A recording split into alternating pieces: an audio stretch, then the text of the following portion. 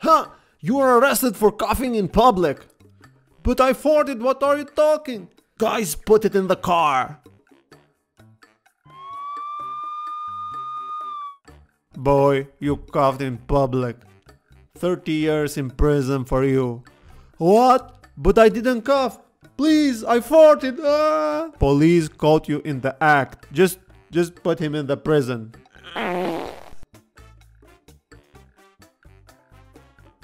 Okay, we reviewed the cameras from 30 years ago and it turned out that you are innocent. We are in conclusion that uh, that day you didn't cough. You farted for sure. What? So you are free now.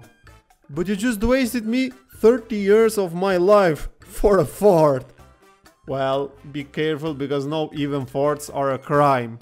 Ah! Sucks Friday!